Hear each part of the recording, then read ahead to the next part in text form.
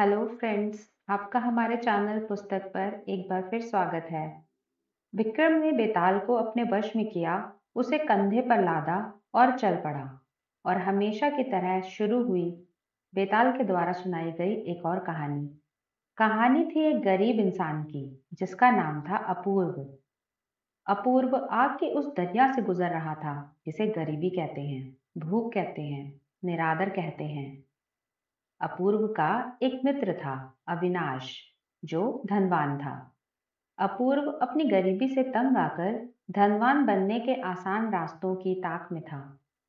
अपूर्व की बेटी अंजलि और अविनाश का बेटा सत्यकाम दोनों बचपन से ही एक दूसरे को चाहते थे। उनके लिए निर्धन और धनवान में कोई फ़र्क न था, लेकिन लालची अपूर्व हर हालत में अपने हालात बदलना चाहता था। एक दिन अविनाश अयोध्या यात्रा पर जाने की बात करता है और अपूर्व को कहता है कि वो उसके बेटे सत्यकाम की मदद, उसके कर्ज को उतारने में कर दे। अविनाश ने अपूर्व से कहा, मेरे अयोध्या से लौटने पर दोनों बच्चों की शादी का सोचते हैं। अपूर्व अविनाश की दौलत पर नज़र टिका लेता है और अविनाश, जैसे ही सत्यकाम की जन्म पत्रिका ढूँढने जाता है तो पीछे से अविनाश का बही खाता छिपा लेता है। अपूर्व अविनाश के नकली हस्ताक्षर कर कुछ लोगों के साथ मिलकर उनके नाम का कर्ज अविनाश के बही खाते में लिख देता है। अगले दिन अपूर्व उस बही खाते को रख देता है और अपने आदमियों को सत्यकाम के हाथों कर्ज के पैसे दिलवा देता है। सत्यकाम को अपने पिता का कर्ज चुकाते हुए सारा पैसा और मकान देना पड़ जाता है। अपूर्व अपने साथियों के साथ अपने घर पे मिलता है। और अपने हिस्से के बारे में बात करता है। जब वो सभी बात कर रहे थे तो अंजलि छिपकर सब सुन लेती है। अंजलि यह सुनकर दुखी होती है तो वो राजा के पास जाती है और राजा को इस बारे में बताती है कि उसके पिता ने एक भोले आदमी की लाखों मोहरें लूट ली हैं। राजा उसकी बात सुनकर कहता है कि तुम्हारी फरियाद हम नहीं सुन सकते। यदि वो लड़का आकर हमें शिकायत देगा तो मैं मदद करूँगा। अंजलि राजा को कहती है कि वो लड़का इतना भोला है कि वो मेरे पिता पर इल्ज़ाम नहीं लगाएगा।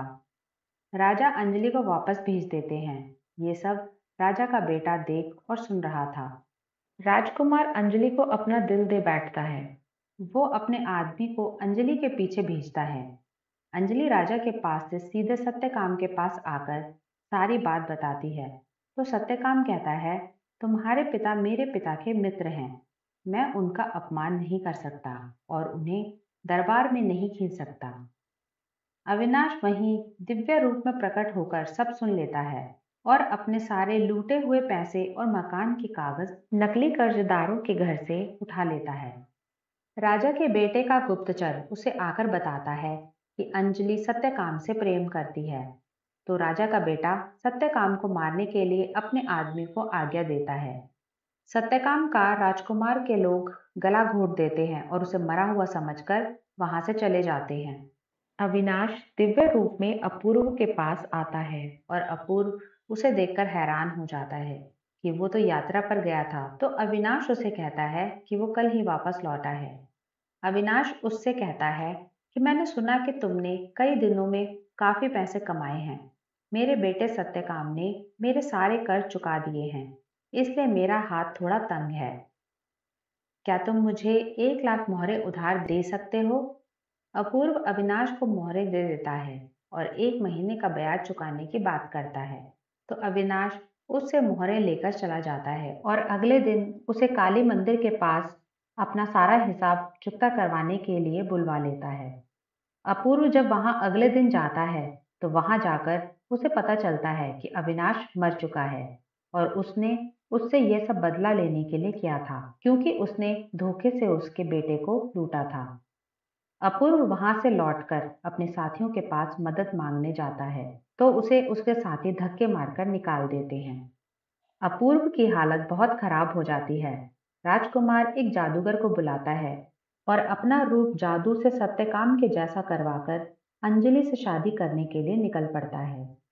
अविनाश वापस से आकर अपने बेटे सत्यकाम को होश में लाता है और उसे अंजलि की शादी के स्थान पर जाने को कहता है। अपूर्व भी अंजलि के शादी का सुनकर वहाँ पहुँच जाता है। अविनाश राजा के पास भी जाता है और उसे भी शादी के बारे में बताता है। सत्यकाम वहाँ पहुँच जाता है और जैसे ही सत्यकाम राजकुमार के सामने आता है तो जादूगर का जादू उल्टा हो जाता है। जिससे राजकुमार का असली रूप सामने आ जाता है और जादूगर मर जाता है। राजकुमार अंजलि को ज़बरदस्ती अपने साथ महल ले जाने लगता है। तभी वहाँ राजा भी आ जाते हैं और राजकुमार को प्रजा को सताने के अपराध में गिरफ़्तार कर लेते हैं। तभी वहाँ अविनाश दिव्य रूप में प्रकट होता है। सत्यकाम और अंजलि अविनाश को देखकर बहुत खुश हो जाते हैं। अविनाश सत्यकाम को बताता है कि सरयू नदी में पैर फिसलने के कारण उसकी मौत हो गई थी। अविनाश अपूर्व से कहता है कि यदि उसे धन की ज़रूरत थी तो वो उसे बताता। वो कहता है कि उसने केवल उसे सबक सिखाने के लिए उससे एक लाख मोहरें उधार ली थी और वो एक लाख मोहरें अपूर्व को दे देता है। अपूर्व सत्यकाम से कहता है कि इन मोहरों पर उसका कोई अधिकार नहीं है। और वो मोहरे दोबारा सत्यकाम को वापस कर देता है। इतनी कहानी सुनाकर बेताल राजा विक्रम से प्रश्न पूछता है, जिस धन के लिए अपूर्व उम्र भर तरस रहा था, उस धन को उसने लौटा क्यों दिया? जल्दी बता, वरना मैं तेरे सर के टुकड़े टुकड़े कर दूँगा। तो राजा विक्रम कहते हैं, बेताल, ज़िंदगी की ठोकरों ने अपूर्व की आँखें खोल दी। वो समझ गया कि धन के तीनों रूप दुखदायी हैं। जब धन नहीं होता तो उसे कमाने का झंझट। जब आ जाता है तो उसे संभालने का झंझट। और जब आकर चला जाता है तो इंसान को जीते जी मार डालता है। धन का लोभ कभी भी इंसान को चैन से नहीं रहने देता। वक्त ने उसे सिखा दिया कि इंसान गलत रास्ते पर चलकर कभी भी अपनी किस्मत नहीं बना सकता। इस पर बेताल कहता है, वाह विक्रम ठीक न्याय दिया तूने, लेकिन ये भूल गया कि तू बोलेगा और मैं चला जाऊँगा। इतना कहकर बेताल फिर से शमशान की ओर उड़ने लगता है और राजा विक्रम उसके पीछे पीछे उसे पकड़ने के लिए दौड़ने लगते हैं। आपको आज की कहानी कैसी लगी, हमें कमेंट सेक्शन में ज़रूर बताएँ। और बेताल पच्चीसी की पच्चीसवीं और आखिरी कहानी सुनने के लिए हमारे चैनल को सब्सक्राइब ज़रूर करें। हमारे चैनल पर और भी मोटिवेशनल ऑडियो बुक्स अवेलेबल हैं, उन्हें भी ज़रूर सुने। Thank you